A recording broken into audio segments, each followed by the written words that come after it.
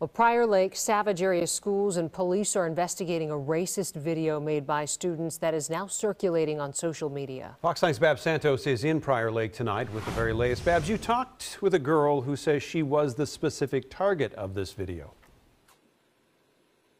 Yes, she says she's really appreciative of support she's gotten from her classmates throughout all of this, but she's hoping the school will take action against those involved so she can continue to feel safe coming here. I'm at a loss of words for what they've done.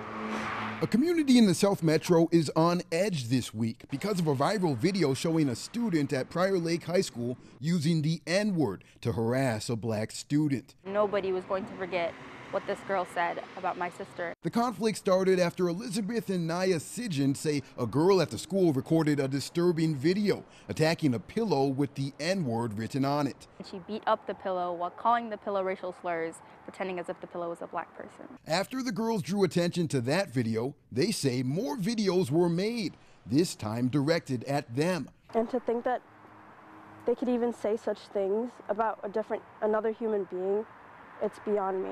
The videos, which we are not showing you because they contain racist and offensive language, encourage Nya to commit suicide by offering graphic examples. It makes it 10 times harder to succeed in such a terrible environment where you feel like you are not loved by your community. In a letter to parents this afternoon, the school says today its counselors continue to create extra space for students to talk about the horrific racist video.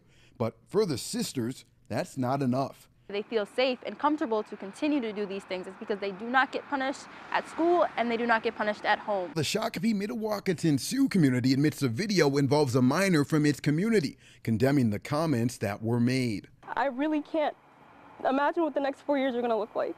And it scares me. It really does. It scares me to have to go through this.